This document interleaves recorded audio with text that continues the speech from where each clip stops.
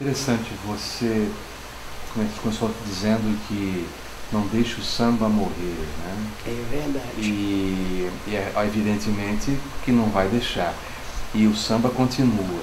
É interessante como um estilo musical como o samba, ele realmente só cresce, não? É verdade. Às vezes há mudanças de estilo, né? Porque a gente percebeu isso já nos últimos, vamos dizer, 40, 50 anos, eu lembro de uma época que a gente não conhecia pagode, por exemplo. É né? verdade. Até o, o, fundo de quintal, né? eles apareceram com aquele som aqui do, do pagode.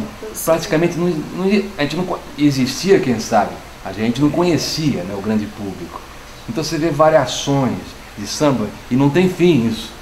O samba é porque ele sempre foi marginalizado, né? É tipo assim, samba é coisa de. De botiquim. De botiquim, samba é coisa de malandro, samba é coisa de marginal, né? É no livro, no livro de JFG, tem um cara que botava o nome do general no pandeiro para poder tocar na rua, porque ele sabia que ninguém ia aprender. Tinha a assinatura do general para não levar ele. É de malandro, é, é, é instrumento de malandro. É. Né? Então, muitas pessoas sofreram para que a gente estivesse hoje aqui, como Sila de Oliveira, Cartola, Donga, é, todos esses, né? Eles sofreram muito. Depois o samba foi adquirindo uma dimensão, foram tirando, criando respeito pelo samba. A primeira mulher a vender mais discos do que todas as mulheres foi Clara Nunes, que era uma sambista. Vender 300 mil discos uma mulher vender. Que Deus a tenha, minha colega. E ela, e ela conseguiu isso, esse feito.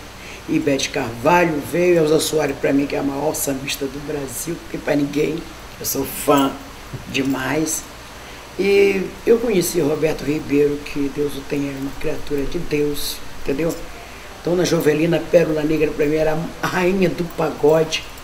João Nogueira, que Deus o tenha também, foi uma pessoa que me acolheu de braços abertos no samba, não sabe? Zeca hoje também, que é uma pessoa que todo mundo ama, Zeca Pagode. Arlindo Cruz é um poeta, sabe? Eu não quero esquecer de ninguém, mas são tantos bons. Que não vai faltar Dona nunca Ivone, né? poeta. Dona Ivone Lara, você quer uma joia como Dona Ivone?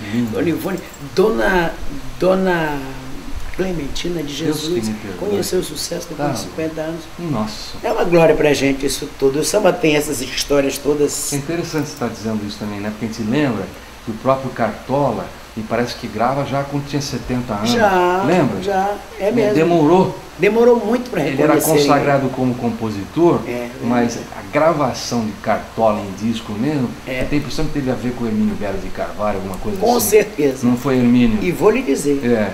você já viu Cartola cantando é, O mundo é um hino, as outras não falam, como Cartola canta lindo. Cartola tem um sentimento na voz que eu fico emocionada de ouvir. Muito, muito, muito Que emocionada. poeta, não? Era um poeta e tipo, sabia passar o sentimento da música dele. Sabe uma coisa que é muito difícil é, para eu entender? É que, por exemplo, vamos dizer um cartola, né? É uma pessoa, eu vou usar um termo que não é correto, aparentemente simples, Uhum. certo? Então quando você pensa cartola, aí você vem e pensa no Chico Buarque.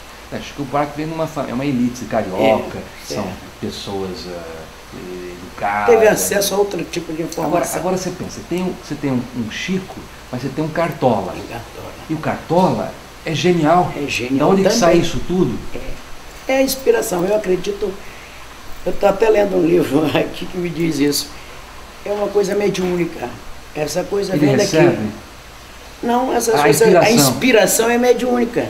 Ela vem. Ela vem como. É como o João Nogueira disse. E o poeta se deixa levar por essa magia. E o samba vem vindo e vem vindo uma melodia e o povo começa a cantar. É isso que João Nogueira fala. Ninguém faz samba só porque prefere. Né? Como é que é essa música? É o poder da clã. Não, Ninguém faz samba só porque prefere. Força nenhuma no mundo interfere sobre o poder da criação. Não precisa se estar infeliz nem aflito, nem se refugiar num lugar mais bonito, em busca da inspiração. Não. Ela é uma luz que chega de repente, essa inspiração, com rapidez de uma estrela cadente que acende a mente e o coração. É isso. É isso aí.